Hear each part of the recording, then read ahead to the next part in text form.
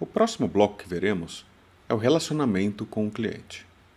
É sobre como conquistamos, como mantemos e como fazemos nossa base de clientes crescer.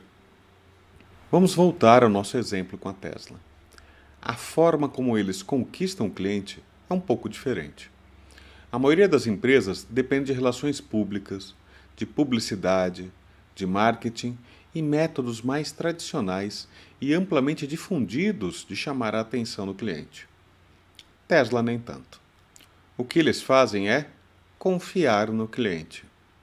Os clientes se tornam verdadeiros entusiastas. Eles se tornam a própria marca. Justamente porque eles amam a marca. Eles se envolvem com a marca. Eles contam a todos os seus amigos sobre a marca. E isso tem um nome técnico: é publicidade. Publicidade gratuita, feita por clientes entusiasmados, e é assim que eles conseguem conquistar seus clientes. Na Tesla, o budget de marketing e publicidade é, na verdade, muito pequeno. E como eles mantêm seus clientes?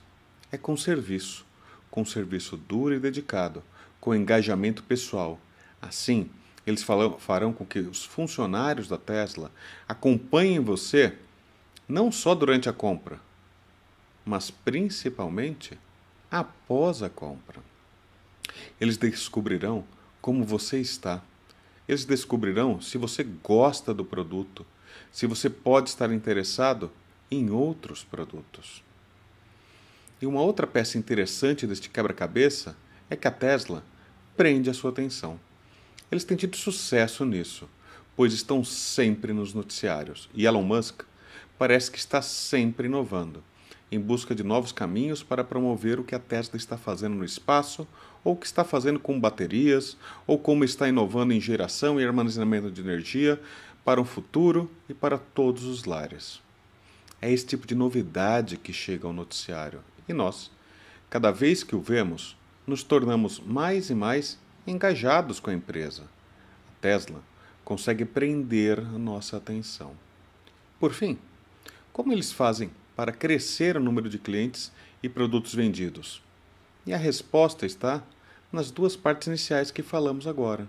A Tesla tem muito sucesso em conquistar e reter tão bem seus clientes que eles não compram uma única vez.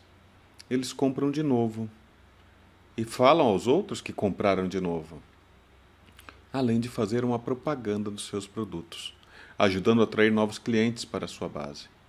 E mesmo sem perceber, um cliente acaba por tornar-se consumidor vitalício da marca.